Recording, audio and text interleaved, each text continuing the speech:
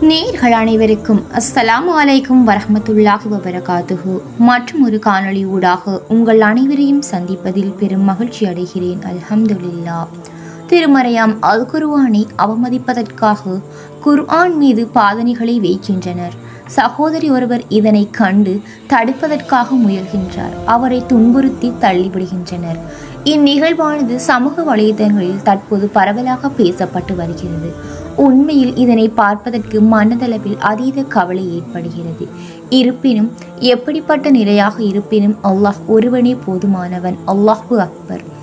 அல்லாஹு தாலா திருமறையாம் அல் குர்வானில் பின்வருமாறு குறிப்பிடுகின்றான்.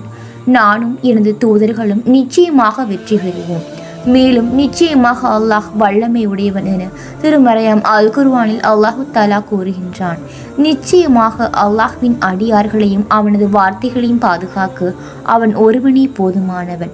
ஒவ்வொருவரும் யா ரஹ்மானின் அடியார்களே அவரவர் செயல்கள் பற்றி நிச்சயமாக நாள மறுமையில் விசாரிக்கப்படுவோம். அது மட்டுமன்றி அல்லாஹ்வின் பிடி மிகவும் கடுமையானதாகும். அவனின் பிடியிலிருந்து காப்பாற்ற யாராலும் முடியாது. எனவே நாம் அனைவரும் அல்லாஹ்வை பயந்து கட்டுப்பட்டு நன்றியுள்ளவர்களாகவே வாழுவோம்.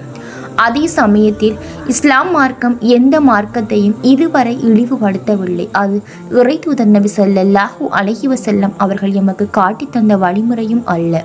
ஆனால் தற்காலத்தில் எம்மையும் எமது இஸ்லாம் மார்க்கத்தையும் மிக இலகுவாக இழிவுபடுத்துகின்றனர் விமர்சனங்களுக்கும் உட்படுத்துகின்றனர். நிச்சயமாக அல்லாஹுவின் பிடியை நாம் அனைவரும் பயந்து கொள்ள வேண்டும். நாள மறுமையில் விசாரணைகள் மிக கடுமையானதாக அமையும். எனவே நாம் அனைவரும் அல்லாஹ்விற்கு பயந்து கட்டுப்பட்டவர்களாக மாறுவோம்.